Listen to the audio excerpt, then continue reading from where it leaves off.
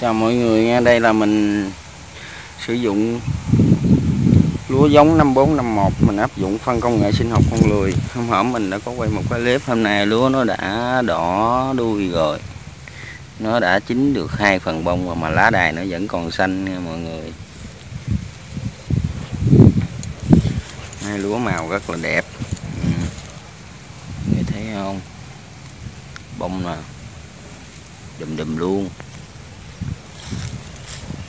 bữa này mình 26 tới mình cắt nha.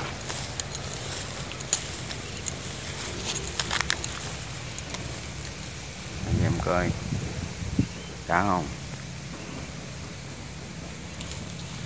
Ừ. tuyệt vời không mặt trời không?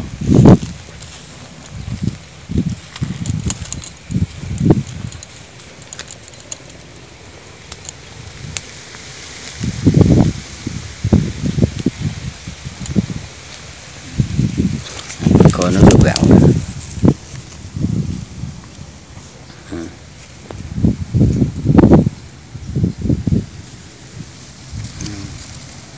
lá đài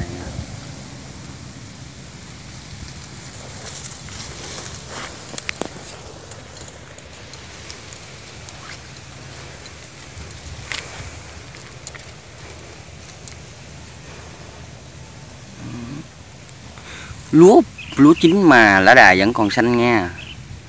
Chứ không phải như hồi xưa mình sử dụng phân hóa học kia đâu. Lúa chín rồi thì cái lá, lúa chưa chín mà lá nó đã chín còn cái này thì hạt lúa đã đỏ, đã chín đỏ rồi mà cái lá đài vẫn còn xanh. Mướt. Giống như là mình mới xịt, mới mới mới lúa mới trổ vậy ui. Mình trèo lên cao mình quay toàn cảnh cho coi mới mua chẹo được không? Mà tét ở đây ừ.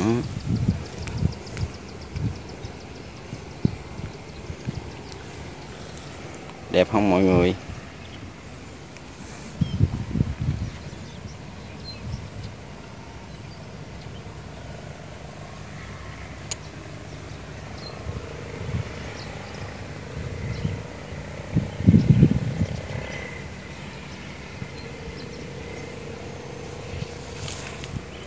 Bên đây người ta sử dụng 49 nè.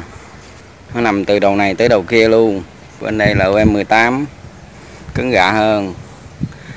49 thì nó đã chín. Kêu là nó đã nằm sẹp luôn. Ừ. Người thấy bông lúa dữ không? Nè. bông này là người điểm coi. 1 2 3 4 5 6 7 8 nít